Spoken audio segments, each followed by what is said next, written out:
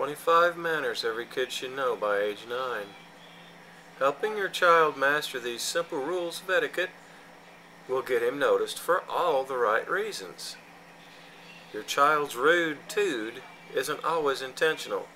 Sometimes kids just don't realize it's impolite to interrupt, pick their nose, or loudly observe that the lady walking in front of them has a large behind. And in the hustle and bustle of daily life, busy moms and dads don't always have the time to focus on etiquette.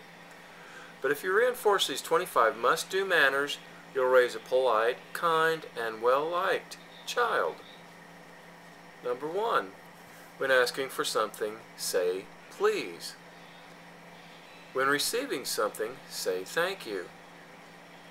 3. Do not interrupt grown-ups who are speaking with each other unless there is an emergency. They will notice you and respond when they are finished talking.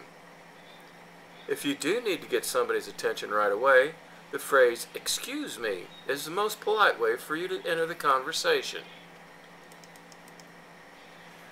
Next, when you have any doubt about doing something, ask permission first.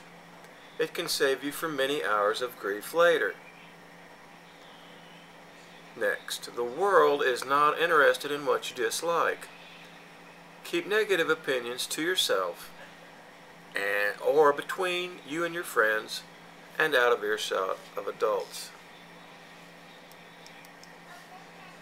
Do not comment on other people's physical characteristics, unless of course it's to compliment them, which is always welcome. When people ask how you are, tell them. Then ask how they are. When you have spent time at your friend's house, remember to thank his or her parents for having you over and for the good time you had. Knock on closed doors and wait to see if there's a response before entering. When you make a phone call, introduce yourself first. Then ask if you can speak with the person you are calling. Be appreciative and say thank you for any gift you receive. In the age of email, a handwritten thank you note can be a powerful thing. Never use foul language in front of adults. Grown-ups already know all those words and they find them boring and unpleasant. Don't call people mean names. Don't make fun of anyone for any reason. Teasing shows others you are weak, and ganging up on someone is cruel. Even if you play, even if a play or an assembly is boring, sit through it quietly and pretend that you are interested. The performers and presenters are doing their best. If you bump into somebody, immediately say, excuse me. Cover your mouth when you cough or sneeze, and don't pick your nose in public. As you walk through a door, look to see if you can hold it open for someone else.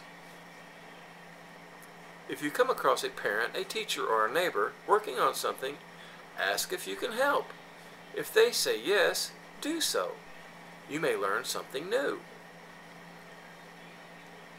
When an adult asks you for a favor, do it without grumbling and with a smile. When someone helps you, say thank you that person will likely want to help you again. This is especially true with teachers. Use eating utensils properly. If you're unsure how to do so, ask your parents to teach you or watch what adults do. Keep a napkin on your lap. Use it to wipe your mouth when necessary. Don't reach for things at the table. Ask to have them passed. Thank you. This has been a lesson on good manners that will help you be liked by everybody if you will learn them.